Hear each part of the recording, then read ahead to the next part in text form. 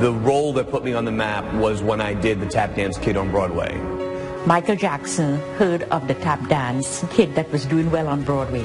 He was impressed with Alfonso's performance, and from there he got the Pepsi commercial.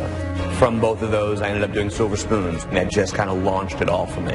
Growing up on the set, working on a sitcom, you don't get to hang around many kids. Well, I was lucky that I had Alfonso because we were best friends and we hung out together. I think out of all of his jobs and his gigs, Fresh Prince was definitely the most cherished time of his life in terms of work.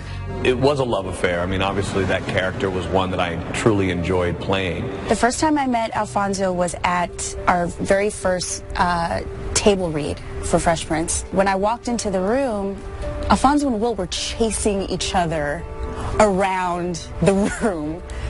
It's kind of indicative of how our time was together. We just played constantly.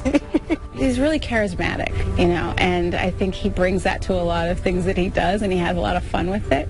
Alfonso will rehearse as long as it takes because the, the end product is the most important thing.